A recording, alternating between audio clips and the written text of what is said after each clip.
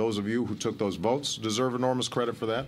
That's why we've had, we should have credibility. But you know, we're still haunted by the debates that took place from the 70s, the 60s, right? And, and that hasn't completely worked through the, the political mindset. Not prevent. And the lives that we did not save. But this time was different. This time, and we are haunted by the atrocities that we did not stop and the lies we did. But I am haunted by those deaths.